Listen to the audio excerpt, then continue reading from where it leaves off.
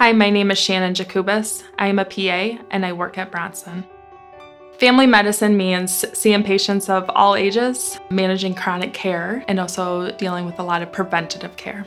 What I love about family medicine is that I can build relationships with people and see them back on a frequent basis and really get to know them and their lives. The best part of my day is when I can make a patient smile, make them laugh, make the visit a little bit more lighthearted as I'm trying to take care of a lot of their chronic medical problems.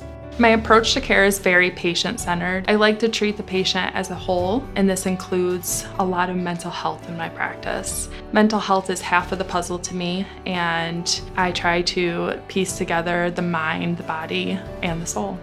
I want my patients to feel heard by the end of their visit. I want them to feel comfortable and safe and feel like they really have a provider that is listening to them.